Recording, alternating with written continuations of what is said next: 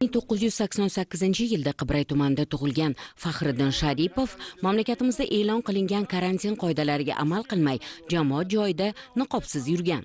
Bu ham yetmaganidek toshkent shahar mirzo ulug'bek tumani va toshkent viloyati qibray tumani o'rtasida tashkil qilingan blok postida mast holatda har xil bemaza so'zlarni aytib to'polon qiladi. Shu joyda xizmat burchini o'tayotgan huquqni muhofaza qiluvchi organlar xodimlari hamda shu hududda yashovchi fuqarolarning tinchini buzib ichki ishlar xodimlarining qonuniy talablarini bajarmasdan uyatli so'zlar bilan haqoratlaydi. Mani boru Ey, xizmatli odamlar asabini buzma, ey. gapiring iltimos mani gapirishga davayt qilma. Iltimos. Maylimi? E mani ukalarim bor. judayam yaxshi? Mani pagoning mani pagoning man bekorga gapirmayapman man bekorga gapirmayapman ichki ishlar organlari xodimlari tomonidan mazkur holat yuzasidan hujjatlar rasmiylashtirilib unga nisbatan to'plangan dalillar o'z tasdig'ini topdi. Faxriddin sharipovga sud qarori bilan 15 sutka ma'muriy qamoq jazosi tayinlandi. O'zim ham vijdonim qiynalyapti o'ylab qarasam noto'g'ri ish qilganman. Mana shu ichkilik orqasidan kelib chiqdi hammasi.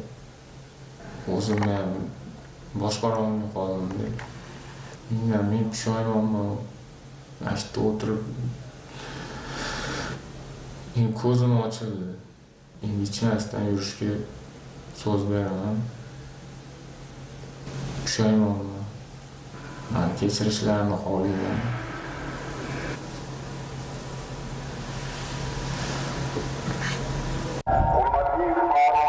termiz shahri hududida viloyat ichki ishlar boshqarmasi milliy gvardiya viloyat sanitariya epidemiologik osoyishtalik nazorat markazi xodimlari bilan hamkorlikda reyd tadbirlari o'tkazildi.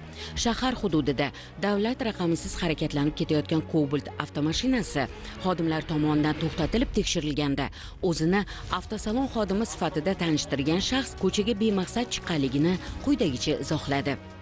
Men davlatni avtosanoatga tegishli bo'lgan mashinani avtosalonga yetkazib berish uchun перегонщик bo'lib ishlayman. Avtosalonga yetkazib borish uchun avtomobilni harakatlanib avtosalonga qadar borayotgan edim. Yana bir avtomashina to'xtatilib tekshirilganda haydovchi karantin vaqtida o'z oila a'zolaridan tashqari boshqa kishilarni ham olib ketayotganligi ma'lum bo'ldi.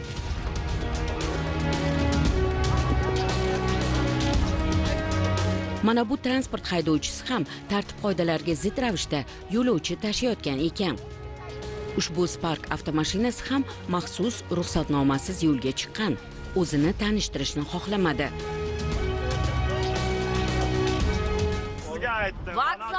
sentrgacha taksilar o'n besh ming olyapti tashkil etilgan reyd davomida ko'cha ko'yda bemaqsad harakatlanayotgan velosiped egalari ogohlantirildi va mazkur mototransportlar karantin muddati yakuniga qadar olib qo'yildi. Ayni paytda surxondaryo viloyati ichki ishlar boshqarmasi tarkibida koronavirus infeksiyasining oldini olish bo'yicha tashkil etilgan ishchi guruh shtabida 24 soatlik tezkor ish faoliyati yo'lga qo'yilgan. Mazkur shtab a'zolari ichki ishlar organlari tomonidan amalga oshirilayotgan ishlar chora tadbirlarning kunlik nazoratini olib borishadi. Bugungi kunda ushbu karantin qoidalarini buzganligi oqibatida bir ming to'rt yuz yetmish olti nafar shaxslarga nisbatan ma'muriy javobgarlik choralari ko'rilgan. Bundan tashqari aholi va haydovchilar orasida ham maxsus ruxsatnoma stikersiz harakatlanishi to'rt million to'rt yuz oltmish ming so'mdan o'n bir million bir yuz ellik ming so'mgacha jarima jazosi solinishi haqida tushuntirilishiga qaramasdan ham ayrim yo'lovchi tashiydigan transport vositalari haydovchilari bu narsaga e'tiborsizlik bilan qarab kelmoqda. Termiz shahriga kirib chiqishda mavjud yo'l patrul maskanlarida qat'iy nazorat o'rnatilgan. Bu yerdan har bir avtomashina dezinfeksiya qilinib tegishli ruxsatnoma va hujjatlar birma bir ko'zdan kechirilmoqda. Ma'lumotlarga ko'ra respublika miqyosida maxsus ruxsatnomasiz harakatlangan yo'lovchi tashish bilan shug'ullangan tegishli hujjatlarsiz avtomobil boshqargan. Karantin qoidalarini buzgan 68472 nafar haydovchilar aniqlanib ularga nisbatan tegishli choralar ko'rildi. 12207 ta avtomobil jarima maydonlariga joylashtirildi. Bu boradagi tadbirlar joylarda davom etyapti